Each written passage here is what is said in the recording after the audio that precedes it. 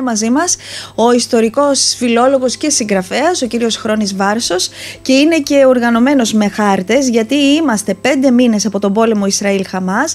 Το 75% των ταγμάτων της Χαμάς έχουν καταστραφεί, είπε χθες ο Πρωθυπουργός του Ισραήλ και πρόσθεσε ότι δεν υπάρχει υποκατάστατο για την ολοκληρωτική νίκη. Όλο αυτό όμως έφερε χάος και εκεί στη Μέση Ανατολή και στην Ερυθρά Θάλασσα έχουμε κάποιες συνέπειες οδυνηρές που αφορούν στο παγκόσμιο εμπόριο και όχι μόνο και γενικά όλες αυτές τις γεωπολιτικές αναταραχές θα τις συζητήσουμε αμέσως τώρα με τον κύριο Βάρσο. Καλημέρα, καλώς ήρθατε. Καλημέρα σας κυρία Αλαθήρη, ευχαριστώ για την ε, πρόσκληση. Και εγώ για την αποδοχή. Καλημέρα και στους ε, φίλους και στις φίλες που μας ακούνε. Να είστε καλά. Λοιπόν, πώς βλέπετε όλη αυτή την, ε, την κατάσταση έτσι όπως έχει διαμορφωθεί σε όλο τον πλανήτη; Ναι, είναι μια κατάσταση η οποία είναι μια παρενέργεια ενός μεταψυχροπολεμικού κόσμου που τίνει να πάρει μια μορφή που κανένας δεν ξέρει το χρονικό βέβαια ε, περιθώριο αυτής της διαδικασίας. Ε, υπάρχει μια γενικότερη αστάθεια, υπάρχουν πάρα πολλοί δρόντες, κρατικοί δρόντες, υποκρατικοί δρόντες, ε, δηλαδή κράτη τα οποία ενδιαφέρονται να βελτιώσουν τη γεωπολιτική τους θέση στο νέο μοίρασμα του κόσμου. Στα δύο αυτή τη στιγμή όπως διαμορφώνονται στρατόπεδα, το ευρωατλαντικό και το ευρασιατικό.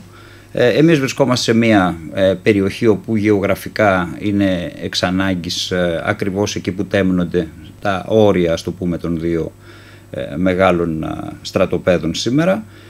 Και η περιοχή της Μέσης Ανατολής όπως πάντα βέβαια φλέγεται με επίκεντρο ασφαλώς την σύγκρουση Ισραηλινών Παλαιστινίων η οποία σήμερα ε, εκδηλώνεται με κέντρο τη Γάζα βεβαίως. Δεν περιμέναμε να διαρκέσει τόσο έτσι δεν είναι αλλά δεν φαίνεται όμως και να κλείνει έτσι τον Δεν φαίνεται ούτε να αποκλιμακώνεται mm. αντιθέτως έχει πάρα πολλές διαστάσεις ευρύτερες διότι εμπλέκονται και άλλοι περιφερειακοί παίκτες όπως είναι φυσικά το Ιράν ε, είναι μια κατάσταση στην οποία ε, όλοι φοβούνται μια περαιτέρω και κομμάτια αυτής της κλιμάκωσης τα βλέπουμε από τις επιθέσεις που έχουν γίνει από φιλοϊρανικές ομάδες ε, στη Συρία, στο Ιράκ, σε αμερικανικές βάσεις οι οποίες βρίσκονται πάλι σε αυτές τις δύο χώρες. Οι Αμερικανοί διατηρούν περίπου 900 στρατιώτες στη Συρία, ε, ανατολικά του Εφράτη, εκεί που ελέγχουν τις περιοχές οι Κούρδοι δηλαδή και περίπου 2.500 είναι μέσα στο Ιράκ. Αυτοί βάλλονται από φιλοϊρανικές πολιτοφυλακές της Συρίας και του Ιράκ. Αντιστοίχως, οι Αμερικανοί βομβαρδίζουν αυτές τις περιοχές με πρόσφατο ε, το γεγονός των επιθέσεων ως αντίπεινα στην ε, επίθεση που έγινε σε μια βάση του στην Ιορδανία που είχε και το αποτέλεσμα το θάνατο τριών Αμερικανών στρατιωτών. Και επεκτείνεται αυτή η ζώνη ε, προς την παραλία της Μεσογείου με το μέτωπο ε, Ισραήλ-Χαμάς στην περιοχή της Γάζας που κρατάει από τις 7 Οκτωβρίου όπως σωστά είπατε ε, μπορεί να επεκταθεί ε, δυστυχώς στο Λίβανο με την ε, επέκταση στη σύγκρουση Χεσμολάχ Ισραηλινών και έχει ήδη πάρει σάρκα και οστά στην ε, Ιεμένη, στην περιοχή του Άντεν δηλαδή που είναι και ένα checkpoint όπως λένε του πλανήτη, δηλαδή ένα σημείο ε, από τον οποίο περνάει ένα πολύ μεγάλο κομμάτι της παγκόσμιας ναυτιλίας όπου οι Χούθοι, οι φιλοϊρανοί, mm. ε, ας τους πούμε έτσι αντάρτες Χούθη ε, ελέγχουν την περιοχή της Βόρειας Ιεμένης και ε, ρίχνουν πυράβλους ή επιτίθενται με ε, μη επανδρομένα οχήματα και με άλλο υλικό που διαθέτουν αρκετά υψηλής τεχνολογίας που είτε το κατασκευάζουν μόνοι τους είτε το προμηθεύονται μέσω του Ιράν χτυπούν τα εμπορικά πλοία και σήμερα έχουμε επιθέσεις Αμερικανών στους Χούθη της Ιεμένης και Βρετανών και το ε, πρόγραμμα Σπίδες το οποίο πρόκειται να εκδηλωθεί από ό,τι λένε μέχρι τα τέλη του και... μήνα στο οποίο θα συμμετάσχει ναι. και η χώρα μας. Και δείχνει επίσημη τώρα η εμπλοκή της χώρας μας σε όλο αυτό που γίνεται στην Ερυθρά. Ναι, ναι, υπ' αυτή την έννοια ναι. Θα είναι βέβαια όχι ε, σαν ε, Ελλάδα ανεξάρτητα, αλλά θα είναι, είναι υπό τη γενική έτσι, εποπτεία προφανώς των Αμερικανών. Ένα μείγμα ναυτικών ευρωπαϊκών λένε ότι θα είναι η Γαλλία, η Ιταλία, η Γερμανία ναι. και η Ελλάδα σε αρχικο στάδιο. Ε, και αυτό μένει να το δούμε ασφαλώς και το ρόλο αν θα είναι η προστασία των πλοίων, αν αντιθέτως θα απαντήσουν σε πιθανά πυρά που θα δεχθούν. Και γενικώ είναι μια πολύ επικίνδυνη κατάσταση και για τη διεθνή οικονομία όπως καταλαβαίνετε γιατί ένα μεγάλο κομμάτι πλοίων από ό,τι λένε το 30% αποφεύγει το Άντεν ε, δεν διέρχεται μέσω Σουέζ στη Μεσόγειο. Αυτό σημαίνει βέβαια πάρα πολλά, ε, πολλές απώλειες εσόδων για την ε, Αίγυπτο και κάνουν τον περίπλου της Αφρικής μπαίνοντας στη Μεσόγειο από τον Νότο, από το κροτήριο της Καλής Ελπίδας και μέσω του Γιβραλτάρ. Δηλαδή μια διαδρομή ε, πολύ μεγάλη σε ημέρες και κόστος ασφαλώς, το οποίο ναι. ανεβάζει και τις τιμές των προϊόντων. Ε, πάντως οι αναλυτές θεωρούν ότι δεν υπάρχει εύκολη επιστροφή πίσω στα ήρεμα νερά των προηγούμενων έτσι, χρόνων. Όχι, γιατί η περιοχή στην οποία είμαστε εμείς έτσι, για να ε, έχουμε ως άξονα μελέτη στη χώρα μας ε, βρίσκεται παράλληλα και σε περιοχές οι οποίες είναι επίσης φλέγουσες, δηλαδή υπάρχει ε, η συνεχής ε, ρωσο-ουκρανική κρίση και ο πόλεμος μετά τη ρωσική εισβολή τον Φλεβάριο του 2022, δηλαδή συμπληρώνονται και εκεί δύο χρόνια που είναι ένας πάρα πολύ φωνικός πόλεμος που και τη χώρα έχει καταστρέψει ασφαλώς έχει δημιουργήσει ένα τεράστιο κύμα προσφύγων που είναι εκατομμύρια άνθρωποι. Τεράστιες οικονομικές συνέπειες για όλη την Ευρώπη. Τεράστιες οικονομικές συνέπειες, γεωπολιτική αναδιάταξη. Ε, έχει δημιουργήσει μια νέα κατάσταση στην Ευρώπη όπου οι Ηνωμένες Πολιτείες ελέγχουν πάρα πολύ το παιχνίδι, ιδίως σε κράτη συνορεύοντα με την ε, Ρωσία. Είδαμε και την πρόσφατη είσοδο στο ΝΑΤΟ της Φιλανδίας και της Σουηδίας, δύο παραδοσιακά ουδέτερες χώρες. Ε, στα χρόνια του ψυχρού πολέμου τουλάχιστον, υπάρχει μία οσμή πολέμου σε όλη την ε, Ανατολική Ευρώπη, στα σύνορα με Λευκορωσία και ρωσια Και φοβούνται όλοι βέβαια να μην υπάρξει διάχυση αυτού του πολέμου στη Μολδαβία αρχικά ε, ή ενδεχομένως ομιγέννητο σε μια ευρύτερη εμπλοκή του ΝΑΤΟ με την Ρωσία. Υπάρχει ο Κάφκασος, πολύ πρόσφατα είχαμε την εκδίωξη των Αρμενίων από το Αρτσάχ, τις παραδοσιακές τους αιστείες, από την επίθεση που δέχτηκαν από το Αζερβαϊτζάν με τη βοήθεια της Τουρκίας ασφαλώς. Και 120.000 άνθρωποι προσφυγοποιήθηκαν. Ε, αλλά ε, αυτό που έχει συμβεί στη Γάζα είναι νομίζω το, το κεντρικό. Πρώτον μιλάμε για μια ανθρωπιστική καταστροφή. Σύμφωνα με το Υπουργείο Υγείας της Γάζας, γιατί τα στοιχεία που δημοσιεύονται είναι από το Υπουργείο Υγείας της Γάζας, δηλαδή από την κυβέρνηση τη Χαμάς, οι νεκροί είναι περίπου 27.000.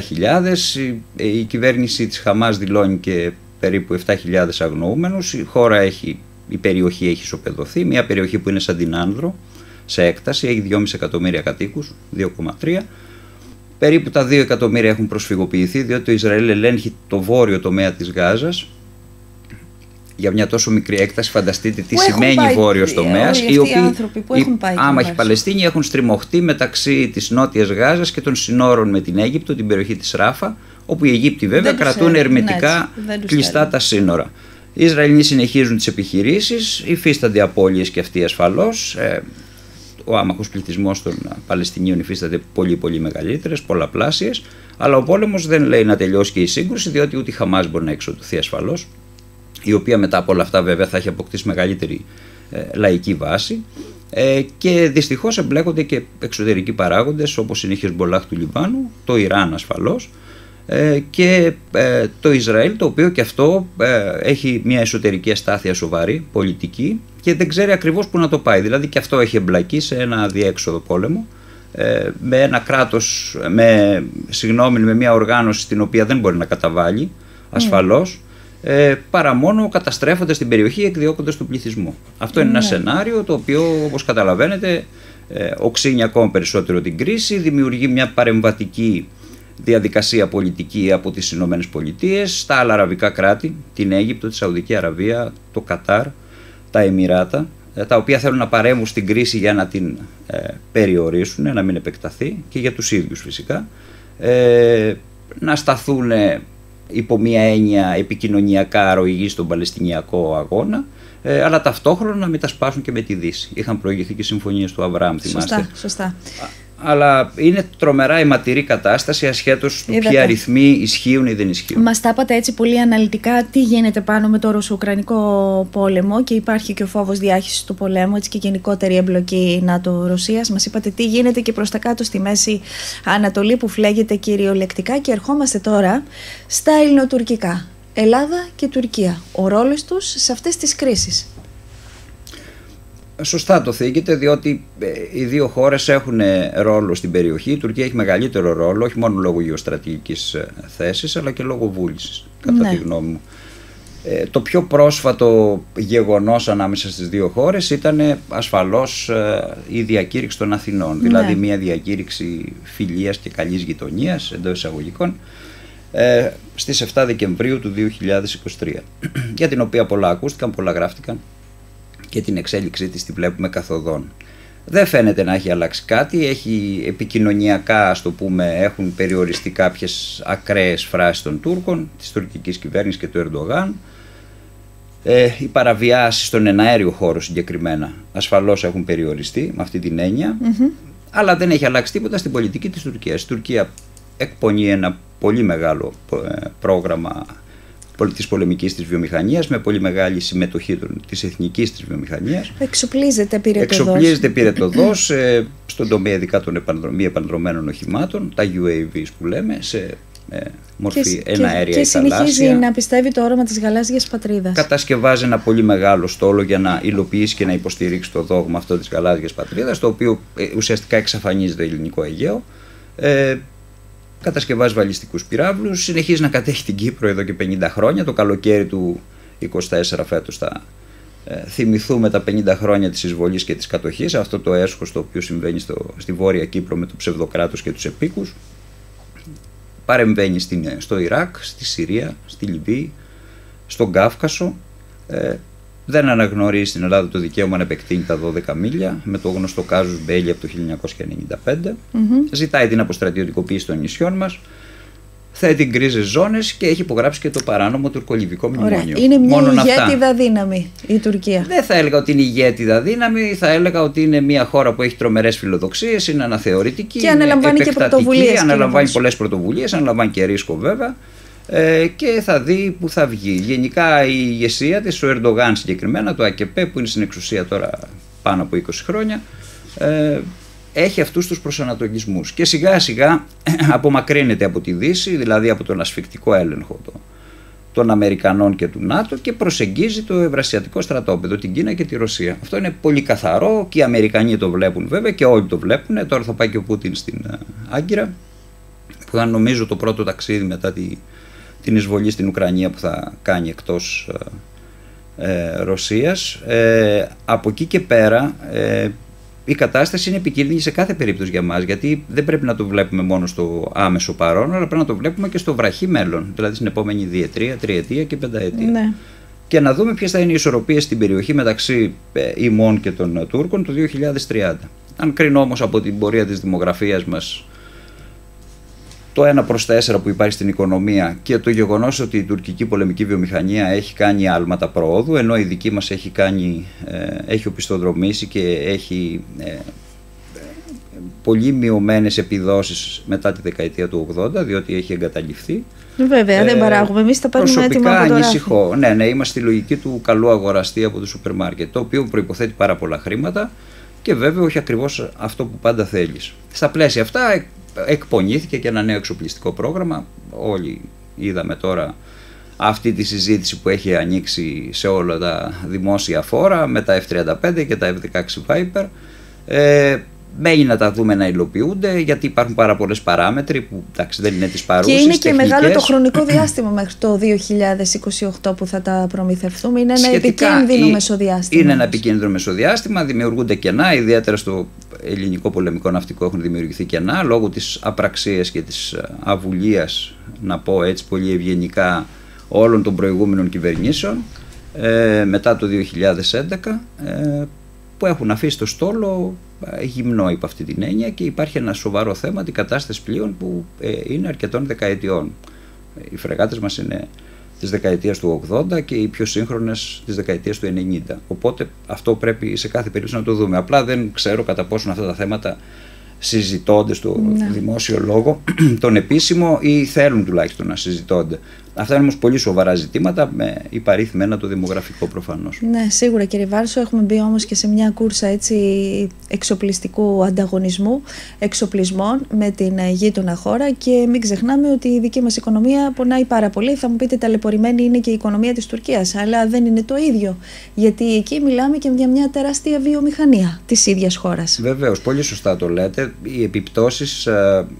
Ε, μιας κούρσας εξοπλισμών ανάμεσα στις δύο χώρες δεν είναι πλέον η ίδια. Εμά εδώ η οικονομία μας δεν τα αντέχει όλα αυτά. Όχι, αλλά ούτε και ο πληθυσμός δεν τα αντέχει. Διότι ο ελληνικός πληθυσμός δυστυχώς έχει τις τελευταίες δεκαετίες ε, μπει σε μια νοοτροπία ότι κάποιοι άλλοι θα έρθουν να μας σώσουν όταν ναι. έρθει η όμη του η κακιά ώρα. Ναι. Ε, το οποίο είναι λάθος. Αυτό αφορά την Ευρωπαϊκή Ένωση, τους Αμερικανούς, αλλά βλέπουμε ότι σε κάθε κρίση ε, ελάσσουνα ή μίζωνα, ε, οι ξένοι τηρούν συγγύνη χθείω. Δηλαδή δεν παρεμβαίνουν. Και αν παρέμβουν, θα παρέμβουν για να εξυπηρετήσουν τα δικά τους συμφέροντα, τα μικροσυμφέροντα ή τα μεγάλα συμφέροντα. Επίσης, η Δύση είναι φανερό ότι δεν θέλει να δώσει ως δώρο στην Κίνα και τη Ρωσία την Τουρκία και θα κάνει κάθε τι για να την κρατήσει. Ε, το αν θα συμβεί αυτό δεν το ξέρουμε, αλλά ξέρουμε ότι προφανώς η Ελλάδα δέχεται πολλαπλάσιες πιέσεις ε, για υποχωρήσεις απέναντι στην Τουρκία ε, σε σχέση με τις πιέσεις που δέχεται η Τουρκία. Ναι. Και επειδή Όλα, τα, όλα αυτά τα ξέρουμε, γι' αυτό ίσως προχωρούμε και εξαντλούμε ό,τι υπάρχει σε ό,τι αφορά τη διπλωματική οδό. Γι' αυτό και προχωρήσαμε και στη διακήρυξη των Αθηνών και το Σύμφωνο Φιλίας. Ναι, υπάρχει μια ερμηνεία ότι αυτό γίνεται για να κερδίσουμε δεν έχουμε, χρόνο. Ναι, Εντάξει, υπάρχουν και άλλα πράγματα που, δε, που δεν γίνονται όμως, τα οποία είναι λίγο ανεξήγητα όπως είναι ε, το γεγονός ότι δεν καθορίσαμε τις ε, θαλάσσιες ζώνες όπως μας ζήτησε η Ευρωπαϊκή Ένωση. Για αυτό που λέμε πάντα μαζί ότι συνεχίζει να μας διακατέχει το φοβικό σύνδρομο. Σωστά, το οποίο ήταν μια καλή ευκαιρία υπό την ομπρέλα της Ευρωπαϊκής Ένωσης να καθορίσουμε αυτό που ονομάζουμε ε, ζώνες ε, θαλάσσιες, δηλαδή θαλάσσιο χωροταξικό σχεδιασμό. Είχαμε ένα περιθώριο μέχρι τον Μάρτιο του 2021, μας πάνε τώρα στο Ευρωπαϊκό Δικαστήριο ε, και δεν εκμεταλλευόμαστε αυτή την ευκαιρία. Δεν ξέρω ακριβώς ε, τι συμβαίνει με αυτό το θέμα, αλλά πάντως ε, αυτό δεν είναι ένα ζήτημα που αφορά μόνο τις κυβερνήσεις κατά τη γνώμη μου. Σε αυτό πρέπει να εμπλακεί και ο ελληνικός λαός, ο ελληνικός πληθυσμός συνολικά δηλαδή, και να αποκτήσει μια άλλου είδους κουλτούρα ασφαλείας, να το πω, ή αντίληψης περί των γεωστρατηγικών. Μας λείπει αυτό, λέτε αυτή Αυτό η μας λείπει ξεκάθαρα, βεβαίως. Ναι, βεβαίως, μας λείπει. Δηλαδή, μερικές φορές δεν έχουμε συνέστηση ή ε, ζούμε σε μια ψευδεπίγραφη εικόνα της πραγματικότητας διότι ζούμε σε μια περιοχή προφανώς όπως είναι η Ευρωπαϊκή Ήπειρος που είναι ανεπτυγμένη οικονομικά δεν βιώνει πολέμους αν εξαιρέσουμε τη Ιουγκοσλαβία ή τώρα την Ουκρανία.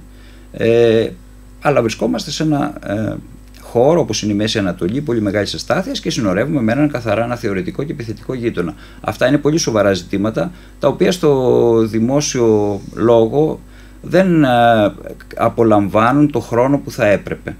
Και βλέπω έτσι μια προσωπικά, όπως και πολλοί πολίτες βέβαια, ε, μια μειωμένη γνώση, διάθεση να συζητηθούν στην ουσία τους αυτά τα ζητήματα. Συζητώνται μόνο επιφανειακά και φυσικά στα πλαίσια της μικροπολιτικής και της ε, ναι φιλοκυβερνητικής ή αντιπολιτευτικής διάθεση. Θα έπρεπε να έτσι ιεραρχικά να είναι πιο πάντως στην ατζέντα. Είναι θέματα εθνικής ασφάλειας.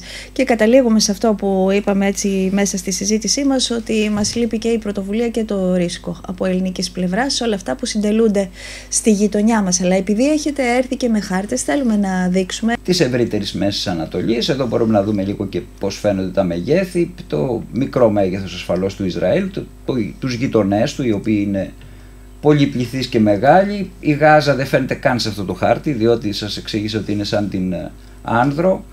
Ε, η περιοχή της Δυτικής Όχθης που βλέπετε εδώ είναι μια περιοχή σαν τον ομό Ακαρνανίας και όλο το Ισραήλ είναι περίπου σαν την πελοποννησο για να έχουμε μια εικόνα των μεγεθών.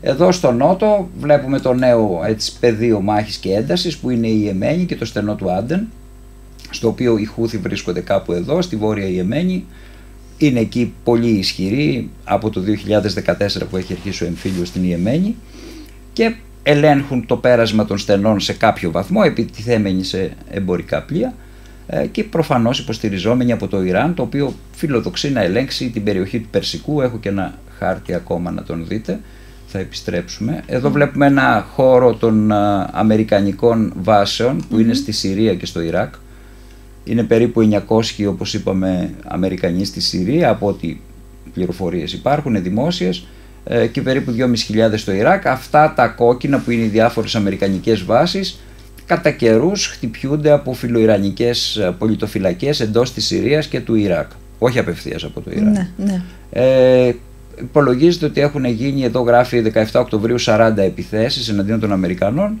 Ε, Πρόσφατα διάβαζα όπως κατήγγυλαν οι Κούρδοι της Συρίας ότι έχουν γίνει 108 επιθέσεις μόνο μες στη Συρία, άλλοι λένε ότι έχουν γίνει 165 συνολικά. Οπότε όπως καταλαβαίνετε είναι πολύ σημαντικό. Ε, επίσης εδώ μπορείτε να δείτε την αμερικανική παρουσία που είναι πολύ έντονη στην περιοχή της Μέσης Ανατολής. Η βάση των Αμερικανών στον Περσικό, στα αντίστοιχα κράτη, Κουβέιτ, Μπαχρέιν, Εμμυράτα, Κατάρ. Η ναυτική τους παρουσία στην, αυτό είναι πολύ πρόσφατο σχετικά, 12 Ιανουαρίου, η, η ναυτική τους παρουσία στην Ερυθρά θάλασσα όπου τα μεγάλα τους καταδρομικά και διτορπιλικά αναχαιτίζουν πυράβλους των Χούθη που κατευθύνονται είτε προς τα εμπορικά πλοία είτε προς το Ισραήλ. Η δύναμή τους στην Ανατολική Μεσόγειο, στα παράλια Λιβάνου, Συρίας, ε, Ισραήλ ε, και οι μικρές βάσεις οι οποίες έχουν στη Συρία και στο Ιράκ. Στην Ιορδανία υπάρχει μια μεγαλύτερη βάση, η οποία τώρα δέχτηκε την επίθεση. Υπάρχει και μια παρουσία βέβαια στην Αραβική θάλασσα. Ουσιαστικά όλα τα θαλάσσια περάσματα ε, έχουν αμερικανική παρουσία και ταυτόχρονα υπάρχουν ε, η ένταση αυτή η οποία βρίσκεται εδώ μέσα στην Ερυθρά θάλασσα με τις πυραυλικές επιθέσεις των Χούθη. Εδώ μπορείτε να δείτε το άλλο δέος αν μπορούμε να το πούμε έτσι, το Ιράν και την προσπάθειά του να ε, αποκτήσει ζώνες επιρροής, αυτό που ξεκίνησε δηλαδή ο ε, δολοφονηθής ε, στρατιωτικός ηγέτης του Σώματος των Φρουρών της Επανάστασης, ενός ε, ε, κομματιού των φρουρών της Επανάστασης, της Αλ ε, η οποία είναι η, ο Σουλε, Κασέμ Σουλεϊμάνη, τον δολοφονήσαν το 2020. Η προσπάθεια επιρροής του Ιράν σε αυτές τις περιοχές, δηλαδή στο Σιητικό Ιράκ, στη Συρία, στο Λίβανο μέσω της Χεσμολάχ, εδώ στην περιοχή της Γάζας μέσω της Χαμάς και τον Χούθη στην Ιεμένη. Ναι. Δηλαδή είναι αυτή που λέμε η πρόξη η proxy wars, δηλαδή ο πόλεμος δια αντιπροσώπων που ε, προσπαθεί το Ιράν να διεξάγει στην περιοχή χωρίς να έρθει σε άμεση αντιπαράθεση βέβαια με το Ισραήλ το οποίο σημειωτέων διαθέτει και πυρηνικά. Εδώ βλέπουμε ε, κάτι άλλο το οποίο έχει να κάνει με εμπορικά συμφέροντα κυρίως και μια γεωστρατηγική, γεωστρατηγική αντίληψη που έχει ένας πολύ ε, καινούριο ε, δρόντας στην περιοχή της ε, Νότιας Ασίας και εν γέννη του Ινδικού ωκεανού, δηλαδή η Ινδία που είναι μια αναδυόμενη υπερδύναμη ασφαλώς, μια προσπάθεια να περάσει ο εμπορικός δρόμος από το λιμάνι της Βομβάης μέσω των Εμμυράτων και διαμέσου της Σαουδικής Αραβίας στην ε, περιοχή Ιορδανία-Ισραήλ και να βγει στον Πειραιά. Αυτός είναι ο λεγόμενος Ινδικός άξονας, ας το πούμε έτσι, παρακάμπτει το BRI, τον Κινέζικο άξονα, ε, και ουσιαστικά ε, παρακάμπτει και την Τουρκία αν το βλέπετε. Ε, είναι πολύ σημαντικό, δηλαδή δεν είναι μέσα στους άξονες τους οδικούς. Εδώ μπορείτε να δείτε και σε ε, συνδυασμό έναν εμπορικό δρόμο που επιδιώκει να αποκτήσει η Ινδία, είναι ο νότιος δρόμος, και τον βόρειο δρόμο που είναι της Κίνας, αυτό που λέμε το Belt and Road Initiative, το BRI. Υπάρχουν δηλαδή και άλλοι παίχτες στην περιοχή πέραν αυτών που φαίνονται, mm-hmm. όπως είναι το Ισραήλ, το Ιράν, η Τουρκία, προφανώς οι Ηνωμένες Πολιτείες, ε, αλλά και ευρύτερα τα συμφέροντα που έχει ο ευρασιατικός άξονας Ρωσία-Κίνα. Υπάρχει και ο παράγων Ινδία δηλαδή που είναι πολύ σημαντικός. Ε, εδώ είναι πράγματα που είπαμε προηγουμένως, εδώ είναι το ε, παράνομο τουρκο-λιβικό μνημόνιο το οποίο διασχίζει όλη την ελληνική ΑΟΣ. Εδώ βλέπετε και τα όρια της ελληνικής ΑΟΣ που δεν έχει ανακηρυχθεί όπως γνωρίζουμε με την ΑΟΣ της Κύπρου και ανάμεσα περνάει το παράνομο τουρκο-λιβικό μνημόνιο το οποίο ε, ουσιαστικά αγνοεί τελείως την ε, υφαλοκρηπίδα των νησιών μας, των Δωδεκανήσων αλλά ακόμα και της Κρήτης. Ε, εδώ μπορείτε να το δείτε σε μια καλύτερη εικόνα και να κλείσουμε. Εδώ έχει και την Αιγυπτιακή ΑΟΣ όπως βλέπετε και τη Λιβική. Και με τη Λιβύη υπάρχει πρόβλημα τώρα με την ε, προσπάθεια να ευθυγραμμιστεί ο, κόλπος της, ο κόλπος της Σύρτης που είναι μια παράνομη διαδικασία λόγω του μεγέθους του ε, ο οποίος αφαιρεί κομμάτια από την δυνητική ελληνική ΑΟΣ εδώ το βλέπουμε και λίγο καλύτερα να συμπίπτει με την Έλληνο-Αιγυπτιακή ΑΟΣ στην περιοχή. Ε, τα σχέδια των Τούρκων μπορείτε να τα δείτε και να καμαρώσετε όλους αυτούς τους χάρτες που κατά καιρούς ε, δημοσιεύουν με ε, χρώμα κόκκινο τη Βόρεια Συρία, την περιοχή του, τις κουρδικές περιοχές του Βορείου Ιράκ και φυσικά τις ελληνικές περιοχές μέχρι τη Θεσσαλονίκη και την εξαφάνιση της Αρμενίας και της Κύπρου ως κράτη. Ε, και κλείνουμε με τον πολύ γνωστό χάρτη στους Έλληνες ε, θεατές, η γαλάζια πατρίδα η οποία δεν περιλαμβάνει τη Σκύρο τουλάχιστον, ηρωνικά ναι. το λέω, περιλαμβάνει όλο το Αίγαιο όπως βλέπετε, προφανώς περιορίζει την Κυπριακή Αόζεως, την εξαφανίζει, φτάνει μέχρι τα ανατολικά παράλια της Κρήτης, εκεί στο Λασίθι και ουσιαστικά ε, κάνει ε, την Ελλάδα ένα μη κράτος. Δηλαδή ναι. της αφαιρεί τη δυνατότητα να ασκήσει να κυριαρχικά δικαιώματα. Να ότι αυτό ισχύει ακόμη, ακόμη και μετά την υπογραφή της διακήρυξης. Πριν από λίγες ημέρε ακούσαμε τι είπε ο Τούρκος πρόεδρος από τη Σμύρνη. Βεβαίως και ε, τώρα πολύ πρόσφατα δηλαδή, πάλι μιλάγανε για αποστρατιωτικοποίηση. Δηλαδή αυτή η ρητορική δεν ξεχάστηκε ποτέ; Όχι, όχι, αντιθέτως υλοποιείται βήμα-βήμα. Εντάξει, η Τουρκία έχει ένα, ένα σχέδιο να γίνει μια πολύ μεγάλη δύναμη. Δεν ξέρουμε αν θα το πετύχει ασφαλώς. Υπάρχουν πάρα πολλοί παράμετροι σε αυτό. Μας ε, άμεσα. Πάρα πολλά ενδιαφέροντα έτσι και με τους χάρτες είχαμε την ευκαιρία να δούμε κύριε Βάρσου. Αυτό καλό είναι να τα θυμόμαστε, να τα ναι. παρακολουθούμε και να μην είμαστε σε μια λογική η οποία ε, δημιουργεί έτσι ροζ συννεφάκια να το πω ε, ότι δηλαδή μπορεί να γίνει ένας διάλογος, μια συνεργασία η οποία θα ε, βάλει κάτω από το χαλάκι όλα τα ζωτικά προβλήματα ναι. Και κατά συνέπεια θα δημιουργήσει προϋποθέσεις ειρήνης, συνεργασίας και συνύπαρξης. Ναι, Αυτά όλα είναι πολύ θεωρητικά διότι έχουν αλλάξει άρδινο όμω τα πράγματα. Εντελώς. Πάρα πολύ. Δεν είναι μόνο η, αυτές, η, η εμπλοκή όλων και περισσότερων χωρών σε όλα αυτά τα μέτωπα. Ακόμα και στην Ασία βλέπουμε την μεγαλύτερη συσσόρευση ε, ναυτικής δύναμης από το Δεύτερο Παγκόσμιο Πόλεμο. Βεβαίως, δεν είναι υπερβολή αυτό να καθόλου, το πούμε. Καθόλου. Διότι υπάρχει και ένας άλλος ε, άξονας, πάλι ο δυτικός με τον Ευρασιανικό, μόνο που υπάρχουν εκεί άλλοι παίχτες, όπως είναι η Νότια Κορέα, όπως είναι η Ιαπωνία, η Ταϊβάν και οι Φιλιππίνες νοτιότερα και Αυστραλία βέβαια, που είναι ο δυτικός παράγοντας. Και το βλέπουμε να εκδηλώνεται στη λεκτική προς στιγμήν κρίση των σχέσεων Ταϊβάν-Κίνας. Εκεί είναι πολύ σοβαρά τα πράγματα. Δεν είναι όπως η Μέση Ανατολή έχει βέβαια όλα αυτά τα χαρακτηριστικά που ξέρουμε, αλλά ε, το να εισέλθουμε σε καταστάσεις όπου υπάρχει μια πολεμική εμπλοκή της Κίνας που δεν έχουμε δει μέχρι τώρα στη νεότερη ιστορία. Ε, η Κίνα έχει μόνο μια παρουσία στον πόλεμο της Κορέας το 50-53 και μια εισβολή στο Βιετνάμ το 79 στις κρίσεις τότε, στην κρίση που προέκυψε λόγω της Καμπότζης. Δεν έχουμε κινέζικη εμπλοκή. Αλίμονο δηλαδή αν δηλαδή, και αυτό. πραγματικά είναι σενάρια φόβου μια πιθανή εισβολή των Κινέζων στην Ταϊβάν, του Πεκίνου συγκεκριμένα στην Ταϊβάν. Μάλιστα. Θέλω να σας ευχαριστήσω πάρα πολύ. Τίποτα όμως δεν είναι απίθανο, γιατί και με τη Ρωσία δεν περιμέναμε να είπαμε στην Ουκρανία και ένα τώρα τέλος Φεβρουαρίου πάμε για τον τρίτο χρόνο του Βεβαίως, πολέμου. Αυτό που λέτε είναι πολύ σωστό. Στο, στον κόσμο που ζούμε δεν είναι τίποτα απίθανο. Γι' αυτό κανείς πρέπει να είναι πάντα προετοιμασμένος, να είναι σε εγρήγορση και να εννοείται έχει και συνεκτικό εσωτερικό μέτωπο, το οποίο αφορά την οικονομία, την παιδεία του, την α, κοινωνική συνοχή γενικότερα, τα ποσοστά φτωχοποίησης που έχει κάθε χώρα πρέπει να τα δει, διότι υπάρχουν ανεξέλεγκτες καταστάσεις. Τα βλέπουμε τώρα και, και στην Ελλάδα με τα αιτήματα των αγροτών που είναι Σωστά, ε, κύριε επίκαιρα. Έτσι, τα προβλήματα που έχουμε, στην παιδεία, πολύ σοβαρά στην οικονομία θέματα μας, να πολύ σοβαρά. ασχοληθούμε ως κοινωνία και ως λαός. Βεβαίως, αλλά έχουμε ταυτόχρονα και το υπαρξιακό μας, στην κυριολεξία το υπαρξιακό μας, το οποίο αφορά τα εθνικά μας ζητήματα, ε, σε συνδυασμό με την ε, παραγωγική μας δυνατότητα και τη δημογραφία μας. Αυτά είναι σοβαροί παράμετροι που τροφοδοτούν και ενισχύουν και όλα τα άλλα. Διότι για να έχεις υγεία, παιδεία, ασφάλεια, κοινωνικό κράτος, ε, περιβάλλον προστατευόμενο, ε, χρειάζονται και όλα τα άλλα. Χρειάζεται μια παραγωγική βάση και κυρίως πληθυσμός. Μια εικόνα το τι συμβαίνει στα χωριά μας και στην ελληνική ύπεθρο ε, θα μας πείσει όλους. Μάλιστα. Αυτό θα έπρεπε να αναδειχθεί ως μείζον το, το δημογραφικό, ναι. δημογραφικό και όλοι οι κίνδυνοι που απορρέουν από αυτό το πρόβλημα. Εμείς όμως θα έχουμε την ευκαιρία πρώτα Θεός να τα συζητήσουμε τέλος Μαρτίου, 26 με 30 Μαρτίου στο Star Forum. Να είστε καλά. Πέντε ημέρες με, με θεματικές ενότητες πάρα, πολλούς, πάρα πολλές και εκλεκτούς καλεσμένους. Για να αναδείξουμε όλα αυτά τα οποία πονάνε τη χώρα μας και πρέπει κάποια στιγμή να τεθούν έτσι στο τραπέζι της συζήτησης, όχι μόνο ως διαπιστώσεις, αλλά να δρομολογήσουμε και λύσεις για όλα αυτά. Τα σημαντικότερα θα, θα συζητήσουμε. Αναμένουμε με αγωνία το φόρουμ. Σας ευχαριστώ πάρα πολύ για όλη αυτή την ανάλυση και για την, προετοιμασία και αυτά που έτσι που θα δείξουμε στους τηλεφωνικού. Ελπίζω να ήμασταν χρήσιμοι και στους ακροατέ μας. Να είστε καλά, κύριε Βάρης. Καλή δύναμη, καλή συνέχεια. Αν σας άρεσε το βίντεο, πατήστε like και εγγραφή στο κανάλι. Για να λαμβάνετε πρώτοι τις ειδοποιήσεις για νέα βίντεο, πατήστε και το καμπανάκι. Σας ευχαριστούμε θερμός για την υποστήριξη.